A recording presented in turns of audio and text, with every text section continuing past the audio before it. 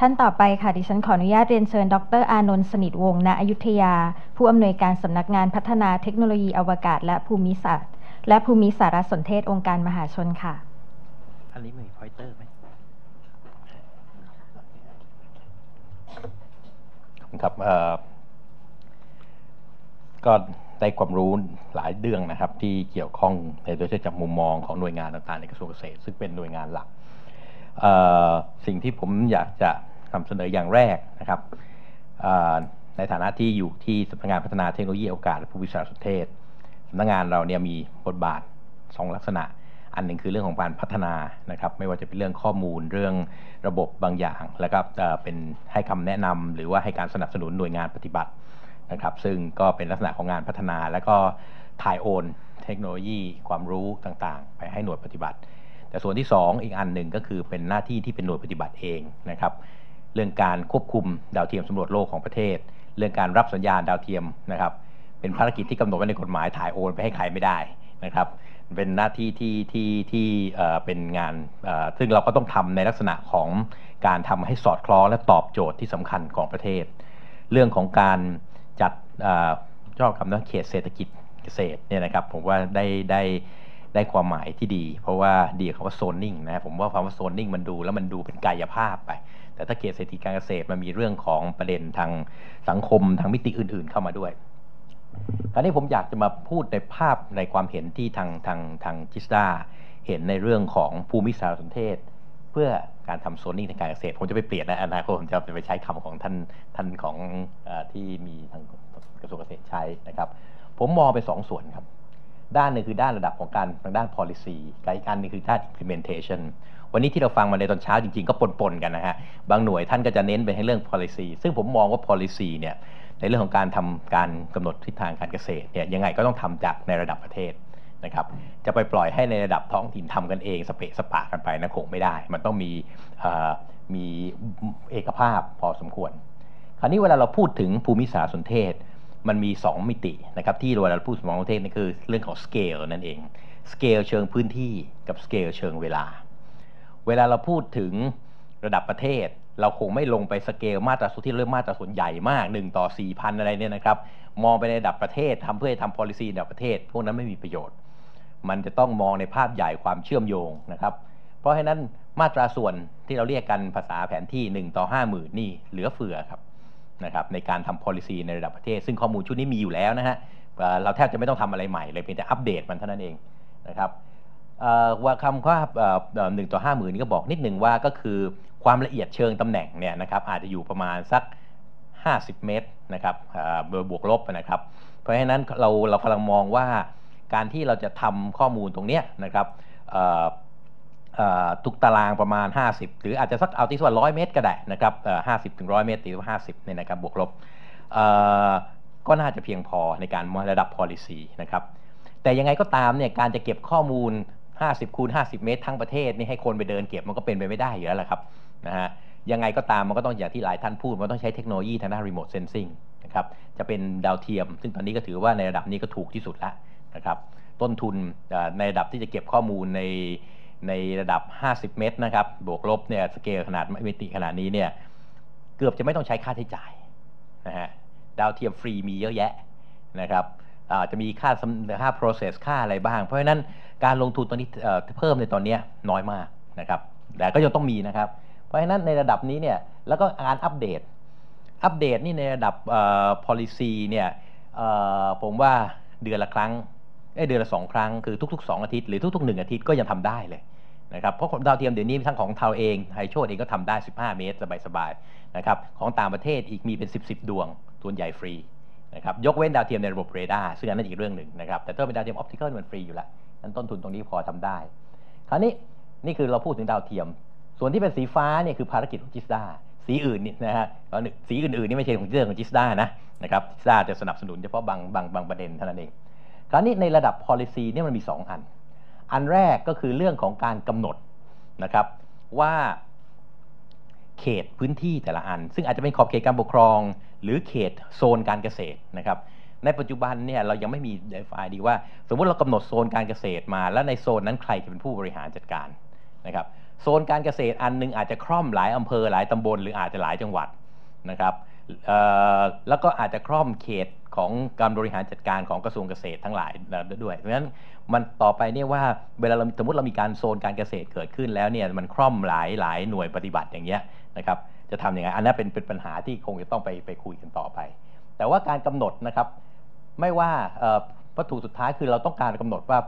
ในแต่ละฤดูปลูกเนี่ยเราผมพูดถึงครอประยะสั้นนะครับเมื่อกี้เมื่อกี้ที่ท่านทิบดีชาติบอกไว้ไอ้ครอปที่เป็นพืชพืชยืนต้นเนี่ยอันนี้ยังยังยากที่จะเล่นนะครับแต่เอาเป็นพืชพืชระยะสั้นสามเดือนถึงอาทิตย์ว่าหนึ่งปีนะครับแต่ละครอปเนี่ยเราก็คงต้องมีการกำหนดว่าแต่ละโซนเนี่ยควรจะปลูกอะไรปลูกที่ไหนปลูกเมื่อไหร่ แต่สังเกตนะครับไม่ได้พูดว่าใครต้องเป็นคนปลูกซึ่งถ้าเป็นระดับรายละเอียดที่ต้องมีเครื่องของใครด้วยเพราะฉะนั้นแปลงยังไม่ได้เข้ามาตรงนี้นะฮะ แปลงเนี่ยยังไม่ยังไม่ยังไม่ตอนนั้นเราเพียงแต่ว่าโซนนี้เนี่ยควรจะต้องปลูกอะไรปริมาณสักเท่าไหร่ ควรจะปลูกเดือนไหนวันไหนอย่างไรนะครับ เครื่องมือตรงนี้เราต้องใช้ข้อมูลนะครับ ทั้งตัวข้อมูลทางกายภาพของพื้นที่นะครับ ในเรื่องของหรือแม้แต่ข้อมูลจากประเทศคู่แข่งเรานะครับ ซึ่งอันนี้สามารถทำได้จากรีโมทเซนซิงอยู่แล้ว ความต้องการนะฮะอันนี้คือพวกกายภาพต่างๆ เรื่องโลจิสติกเรื่องอะไรอันนี้มันยังไม่เคยสมบูรณ์แต่เอาให้เห็นภาพนะครับ และในส่วนนี้นะนะครับที่ตอนนี้เนี่ยทางกระทรวงวิทยาศาสตร์โดยเฉพาะยิ่งสวทชอ่ากำลังพยายามที่จะทำก็คือ tools ที่เราเรียกว่า optimization คือในโลกนี้มันไม่มีอะไรที่ได้ทุกคนได้ประโยชน์หมดนะครับ มันต้องมีใครได้ประโยชน์ มันก็ต้องมีคนเสียประโยชน์เสมอนะครับ เราจะทำอย่างไรให้เกิดการ สมดุลและเกิดความเป็นธรรมมากที่สุด ซึ่งอันนี้เนี่ยก็คือเอาทุกมิตินะครับ ทั้งมิติทางภูมิสังคม ภูมิเศรษฐกิจอะไรต่างๆ เข้ามา เราก็จะได้กำหนดได้ในเรื่องนี้นะครับ อันนี้เป็นเรื่องผมมองนะครับว่าหน่วยที่ทำตรงนี้เนี่ย ณ วันนี้เนี่ยจะอาจจะได้เป็นนโยบายของรัฐบาล หรือก็ไม่ก็อาจจะใช่ในระดับหนึ่งก็คือหน่วยตรงนี้จริง ๆ คือสภาพัฒน์ นะครับที่ณวันนี้ที่เขารับผิดชอบด้านนี้อยู่ ซึ่งพร้อมเขาเป็นหน่วยที่สามารถดึงเอากระทรวงต่างๆ โดยเฉพาะยิ่งกระทรวงเกษตรกระทรวงพาณิชย์กระทรวงหรือแม้แต่กระทรวงการต่างประเทศ กระทรวงมหาดไทยอันนั้นแน่นอนนะครับกระทรวงทรัพยากรธรรมชาติสิ่งแวดล้อมซึ่งดูในเรื่องพื้นที่สงวนต่างๆ เอาเข้ามานั่งทำงานโดยภายใต้กรอบนะครับก็บอกในปีนี้เนี่ยก็มีการตั้งเป้าว่าจะนำร่อง6 0 0 0 0 0ไร่นะครับที่ที่ที่ที่จะทำกันอยู่ในปีนี้กำหนดว่าควรจะปลูกอะไรยังไงในในในแต่ละโซนนะครับ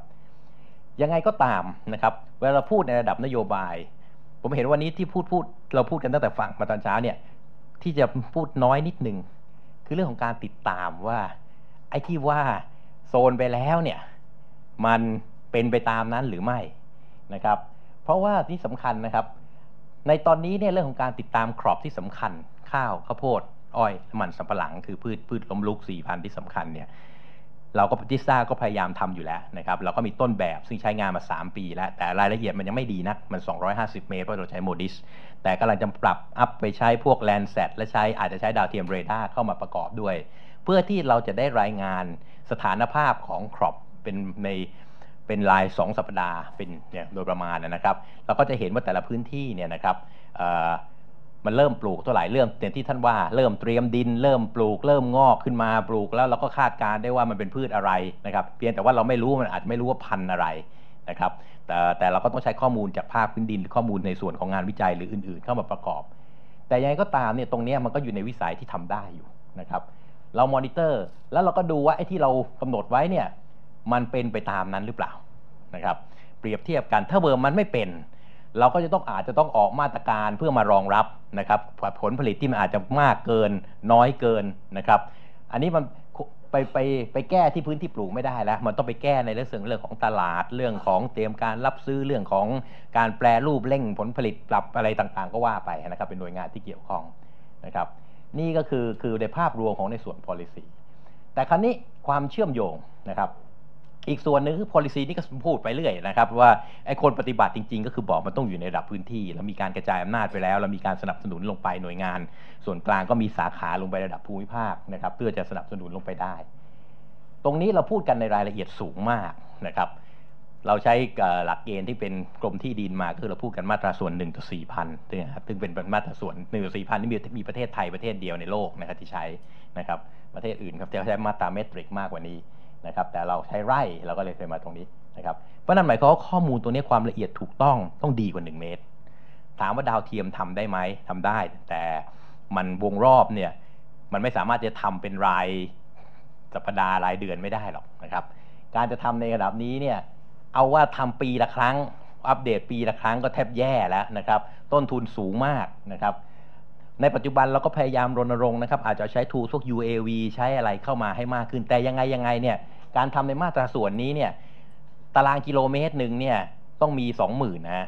ค่าทำนะครับ เพราะฉะนั้นทั้งประเทศตารางกิโลเมตร 625 ไร่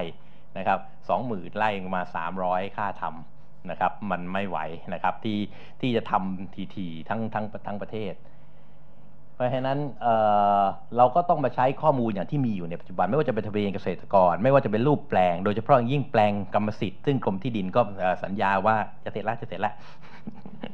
นะฮะจะทำได้ภายในปีนี้นะครับเราโยงข้อมูลต่างๆ เหล่านี้เข้าด้วยกันนะครับฐานข้อมูลที่มีอยู่จากหน่วยงานต่างๆ มหาไทยนะครับที่ดินเกาะเขตเรื่องของกระทรวงเกษตรนี่คือทะเบียนเกษตรกรอะไรต่างๆกระทรวงนี่เป็นของกระทรวงเกษตร และยังไงก็ตามเนี่ยดาวเทียมและรีโมทเซนซิงอื่นๆ ก็ใช้มาประกอบกันนะครับ เราก็จะสามารถที่จะคำนวณตรงนี้ออกมาได้กำหนดออกมาได้ว่าเราควรจะทำที่ไหนนะครับแล้วมันยังมีข้อมูลอื่นๆของกระทรวงทรัพย์กระทรวงอะไรต่างๆ เพื่อที่จะออกมาในสภาพความเป็นจริงว่าในที่สุดแล้วเนี่ยในระดับพื้นที่เราจะทำอย่างไรซีขวาเนี่ยวันนี้กำลังทำอยู่นะครับที่ผมถึงย้ำว่าว่าเราเรายังคงจะใช้เวลาสักระยะหนึ่งนะครับหน่วยงานอย่างที่ที่ฟังมาตอนเช้าไม่ว่าหน่วยงานให้ความสำคัญทางด้านนี้ แต่มันยังไม่เสร็จ แต่สิ่งที่ผมอยากจะ ฝากไปก็คือว่าซีกซ้ายเนี่ยตอนนี้เราพร้อมไป 80-90%แล้วนะครับเหลือแต่เพียงการเชื่อมโยงอีกเพียงเล็กน้อย เราอย่างน้อยเราก็จะมี tools ในระดับนโยบาย เอาไว้ใช้ได้ของประเทศนะครับอันนี้ก็ฝากอาจจะฝากทางสำนักงบด้วยนะครับว่าว่าเราก็พยายามจะเร่งรัดในเรื่องนี้ ขอบคุณครับ